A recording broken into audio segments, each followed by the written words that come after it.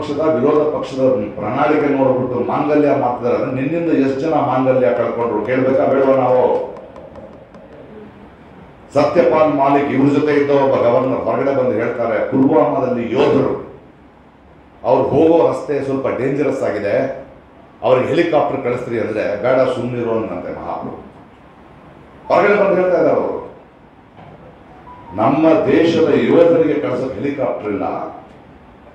ಇವನ ಪಾರ್ಲಿಮೆಂಟ್ನಲ್ಲಿ ಸೆಂಗೋಲ್ ತಗೊಂಡು ಹೋಗೋ ನಾಲ್ಕು ಮಠಾಧೀಶರಿಗೆ ಕಳಿಸಕ್ಕೆ ಏರ್, ಏರ್ಪೋರ್ಟ್ ಇದೆ ಹೆಲಿಕಾಪ್ಟರ್ ಇದೆ ಈ ಮನುಷ್ಯನಿಗೆ. ನಾಚಿಕೆ ಗೊತ್ತಿಲ್ಲ ಅನ್ಕೊಂಡಿದ್ದಾನೆ ಈ ಮನುಷ್ಯ. ಮೊನ್ನೆ ಬಂದು ಹೇಳ್ತಿದ್ದಾರೆ, ಇಲ್ಲಿ, ಕಲ್ಯಾಣ ಕರ್ನಾಟಕದಲ್ಲಿ. ಏನಂತ ಭಾಷಣ? ಒಬ್ಬ ಮಹಾಪ್ರಭು ಹತ್ತು ವರ್ಷ ಆಳದ ಭಾಷಣ. ನಾನು ಮಂದಿರ ಕಟ್ಟಿದೆ, ನಾನು ಇನ್ವಿಟೇಷನ್ ವಿರೋಧ ಪಕ್ಷಗಳಿಗೆ ಕೊಟ್ಟೆ, ಅವ್ರು ಬರಲಿಲ್ಲ. ಐನೂರು ವರ್ಷದ ಹೋರಾಟ ದೇಶದ್ರೋಹಿಗಳವರು ಅಂತಾರೆ.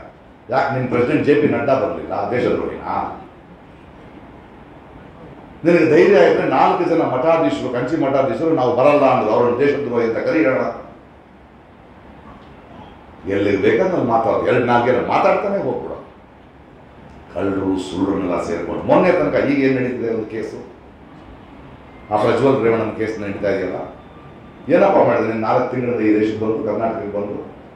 ಅಪ್ಪ, ಮಗ, ಮೊಮ್ಮಗನ ರಾಜಕೀಯ ಪಕ್ಷ, ಕುಟುಂಬ ರಾಜಕಾರಣ ಅಂತ ಬಾಯಿಗೆ ಬಂದಂಗೆ ಹಾಕಿದ್ರೆ ಉಗಿದೆಯಾ ಅಲ್ವಾ ನೀನು? ನಮ್ಮ ಮುಂದೆ ಉಗಿದ್ನಾಗ ಹಾಕೋ ಇವರುಗಳು ಕೂಡ ಈ ನ್ಯಾಯ ದೊಣ್ಣೆ ನಾಯಕ ಹೇಳಕ್ಕಂತ ಇವರು ಉಗಿದ್ರೋ ಇಲ್ಲ ಎಲೆಕ್ಷನ್ ಮುಂಚೆ ತಬ್ಬಿಟ್ಕೊಂಡು ಉಗಿದ್ರಿ ನೆಕೊಂಡು ಕೂತಿದ್ರಿ ನಾಚಿಕೆ ಆಗಲ್ಲ ನಿಮಗೆ?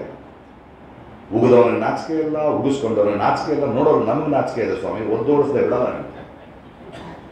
ಅಲ್ವೇ? ಒದ್ದೋಡಿಸ್ದೆ ಬಿಡ್ಬೇಕಾವನ್ನ ಈಗ ಅವ್ರು ಹೇಳ್ತಿದ್ದಾರೆ, ನನಗೂ ಆ ಹುಡುಗನಿಗೂ ಸಂಬಂಧ ಇಲ್ಲ ಅಂತ. ಯಾರಪ್ಪ ನನ್ನ ಮಗ ಇದ್ದಂಗೆ ನೀನೇ ತರಣ ಹೇಳಿದ್ರು ಒಂದು ಸರ್ಕಾರ ಹೆಂಗಸರಿಗೆ ಬಿಟ್ಟಿ ಸೌಲಭ್ಯ, ಒಂದು ಉಚಿತ ಬಸ್ ಕೊಟ್ಟರೆ ಈ ಬಿಟ್ಟಿ ತಗೊಂಡು ಹೆಂಗಸರು ಹಾದಿ ತಪ್ಪಿದ್ದಾರೆ ಅಂತಾರೆ ಈ ಮಾ- ಈ ಹಣ್ಣ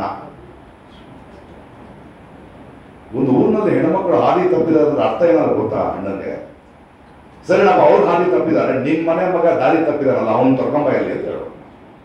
ಹೇಳ್ಬೇಕು ಬೇಡ. ಎಲ್ಲಿ ತಗೊಂಡು ಹೋಗ್ತಿದ್ದಾರೆ ಈ ದೇಶ? ಯಾವ ಥರದೊಂದು ಪರಿಸ್ಥಿತಿನ ತಗೊಂಡು ಬರ್ತಾ ಇದ್ದಾರೆ ಈ ದೇಶದಲ್ಲಿ? ಈ ಪ್ರಶ್ನೆಗಳನ್ನು ನಾವು ಕೇಳಬೇಕು. ತಗೊಳ್ಳಿ ಎಲೆಕ್ಟ್ರಲ್ ಬಾಂಡ್ ಯಾಕೆ ಬೇಕ್ರಿ ಒಂದು ರಾಜಕೀಯ ಪಕ್ಷಕ್ಕೆ ಅಷ್ಟು ಸಾವಿರ ಕೋಟಿಗಳು? ಯಾಕಪ್ಪ ಬೇಕು ನಿಮಗೆಲ್ಲ? ನೀವು ಹಾಕೊಳ್ಳೋ ಬಟ್ಟೆ ನಾನು ದುಡ್ಡು ನೀವು ಊಟ ಮಾಡೋ ಊಟ ನಿಮ್ಮ ದುಡ್ಡು